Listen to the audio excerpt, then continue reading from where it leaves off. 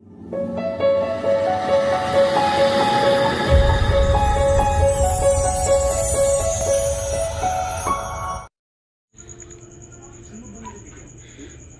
araw mga ka-crazy.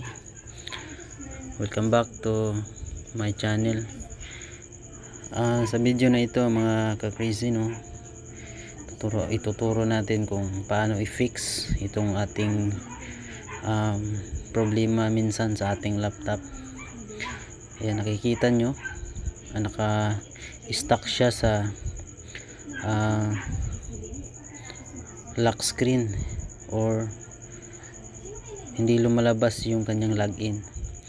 So ang gagawin nyo mga ka-crazy um, pindutin nyo lang yung power, power switch button uh, i-hold nyo ng uh, 15 to 20 seconds. And then automatic off siya. And then i-on nyo ulit tulad ng ginawa ko. So ganyan yung lalabas sa kanya mga ka-crazy. So hintayin lang natin na uh, mag-load yung ano system minsan ang dahilan kung bakit uh, nagkakaroon ng issue ng ganito yung ating mga computer dahil uh, meron tayong uh, ino-open na mga documents running apps tapos uh, hindi natin na-close hindi natin siya na-close ng ating uh, enough.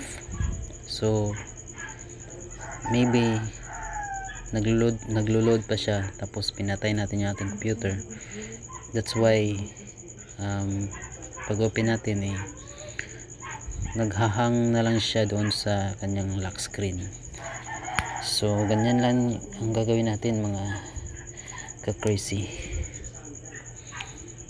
So yan na po. So kapag ah, ganyan yung nakikita nyo yan. Okay na yan try natin pindutin yung ano enter. So ayun.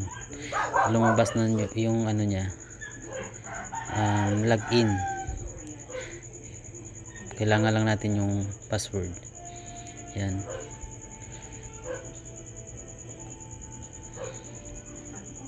Naglulol na naman siya mga crazy hintayin lang natin kung uh, tutuloy ba siya sa kanyang uh, program.